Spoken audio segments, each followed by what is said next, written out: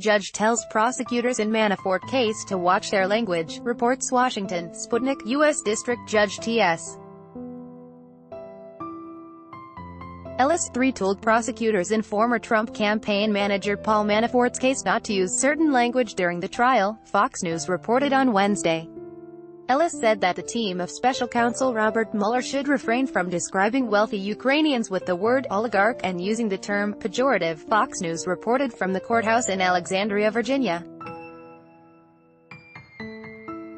The judge explained that they made the instruction regarding the word pejorative because it is a derogatory term, the report said.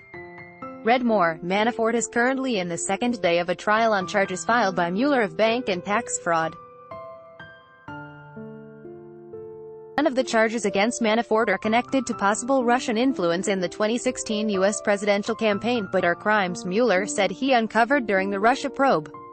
Russia has denied all allegations of influencing the 2016 U.S. election, calling the accusations absurd and invented to excuse the election loss of a presidential candidate as well as to deflect public opinion from actual instances of election fraud, corruption, and other pressing issues.